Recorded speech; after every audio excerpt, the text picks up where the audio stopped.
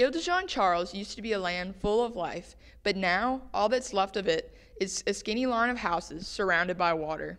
So, with the help of government funding, the residents are working towards resettlement. Well, my home,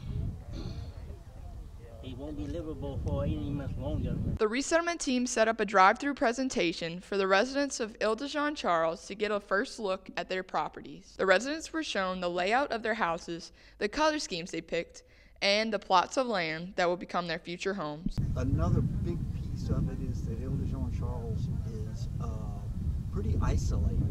And what we found out in the planning process is that that's important to the folks who live there. And whenever uh, we're done here, it's really going to be a sort of secluded place for them to live, very much like the islands. They have set up water features throughout the property to give the residents an opportunity to be close to nature. Father Roch Naquin blessed the resettlement property after driving through it that day. Get them a place where they can not only be safe again, but also where they can try to build up the beautiful culture of the community that, that has been Isle de Jean Charles for all these generations. The Native American tribes on the Isle have been collecting plants and vegetation to bring to the new settlement to make it feel more like home. The residents decided to name the property the New Isle, which Simon Naquin calls his new home.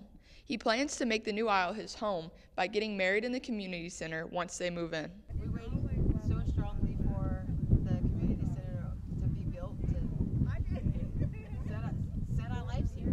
This project offers the residents of Ile Charles a chance to give their children and future generations a future safe from harm and safe to grow and practice their way of life and cultural traditions for years to come. This has been Hannah Robert with KNSU TV.